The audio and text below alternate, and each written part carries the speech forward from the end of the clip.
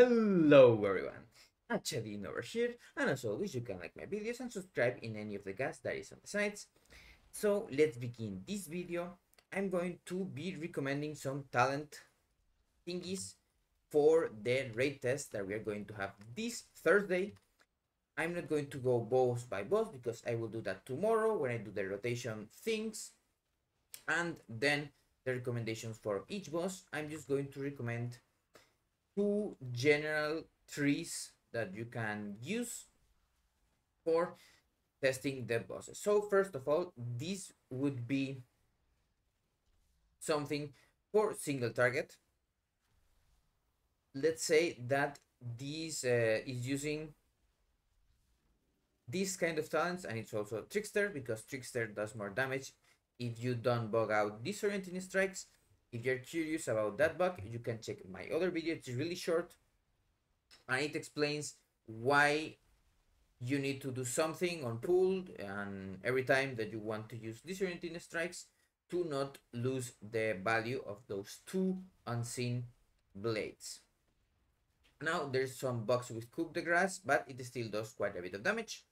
And you also get Fazed and five stacks of flawless form so that is good now here we are not using cold blood right now because secret technique is a bit bugged and does less damage than it should.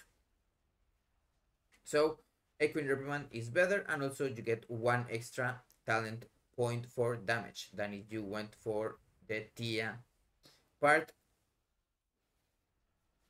So also, we are still using Invigorating Shadow Dust because our two minute window with a trinket that we are going to use, the Signet of Priority, the two minute trinket, you can use that one or the Mercurial Egg, but this one is really annoying.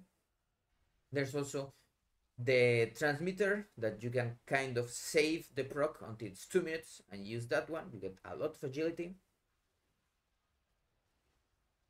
But that window with uh, shadow dust you get two symbols of death and also get um, to use uh, in this case reprimand twice because there's a bug right now invigorating shadow dust it's still 30 seconds instead of the 20 that in one post they said it was going to get nerfed but it's not nerfed yet so it's still a um, strongest part of course you have here perforated veins to get um, to make sepsis stronger. You're not going to do that on pool, but you will try to do that afterwards. This is also because sepsis right now is doing quite a bit of damage as we don't have the tier set and other things and it's still like something like 6 to 7% of your damage. It's nothing crazy. The other times we don't care that much premeditation we are not using because we actually don't open from stealth with a shadow strike um same thing as i said before watch the um, watch the video i explain it why we don't do that so it loses quite a bit of power from that alone and getting one um, finisher thingy we don't care that much first dance helps uh, a bit on that and you also have Echoing Reprimand with First Dance. It pairs quite well because you land on that fourth combo point for free when you begin dance. So this is the thing that I recommend for single target. There will be also many things that you can change, but this is kind of, let's say, the baseline. I will go into more detail tomorrow about tips and tricks for the rotation, kind of to do a little bit more damage. But remember, there's not a set rotation right now. We are still doing APL things and everything, and they may change this the tree anyway, so you don't care that much. And then now is the the cleave one. Now here we are using in this case cold blood again because even if uh, secret technique is nerfed, we still use it to some success in single target. Of course, we are not going to run sepsis we do run perforated veins, but just to go down and get shell dust, not for any other uh, special reason.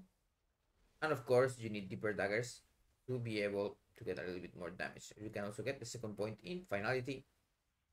In this case, it's almost the same uh, damage. Depends here, you do a little more damage with rupture. I would choose that one and this is the one of course that I will post on the lower part.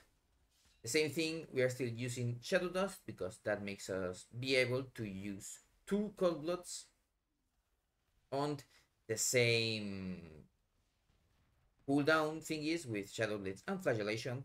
And if you still don't know more or less how sub plays, you can watch my season 3 videos from Dragonflight. It's almost the same gameplay in this case, without of course the things that I will talk about tomorrow. But the baseline has not changed. Of course, the important points in the cleave and AoE is replicating shadows and shuriken tornado. Is the if there are not a lot of targets, you can drop tornado for in this case the first dance, or you can get deeper daggers. Replicating shadows when there are more than two targets, or even if there are two targets, is one of the highest points because it also gives some single target damage. So that is everything and I wanted to say.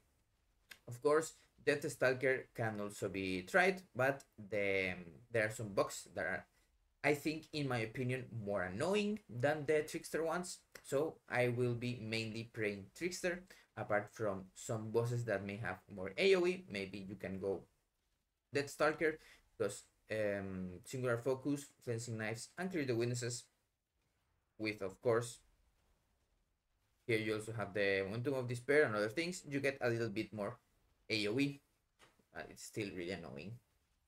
So that's everything.